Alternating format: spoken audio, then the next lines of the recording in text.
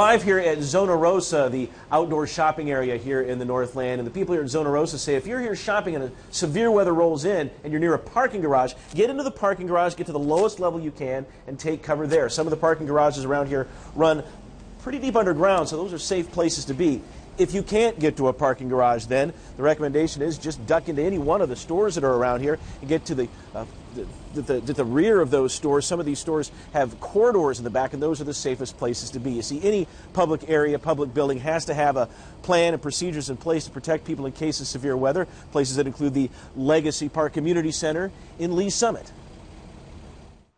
Anyone in the gymnasium or swimming areas of the Legacy Park Community Center will be shepherded into large locker rooms in the center of the building. Our weather radio? Anytime the weather radio here sounds off. For people in other sections of the building, there are other safe spots. So we have childcare.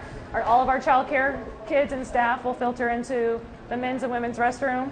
If we were to have any birthday parties, or rentals in our community rooms, all of those would filter down here in the hallways and fill into to the restrooms here. The staff here practices severe weather drills several times a year because they know it can happen.